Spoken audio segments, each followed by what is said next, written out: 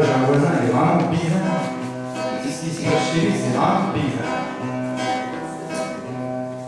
Le mur du voisin a un trou et on peut voir qu'il a tout. Mais quand même, faut que je vous dise, c'est pas des bêtises.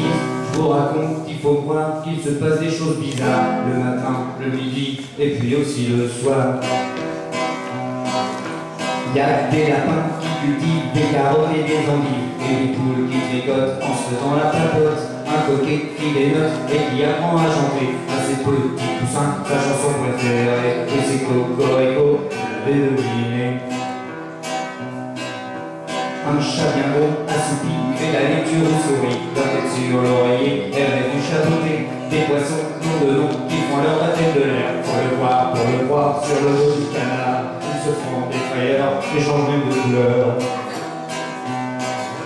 Des escargots sur leur dos ont posé des numéros, ils font la course partie, et les grenouilles parient. Ce temps, un gros chien pour la carte ce matin. Il y a un match de football, et ça risque d'être drôle. C'est l'équipe des cochons qui joue contre les moutons.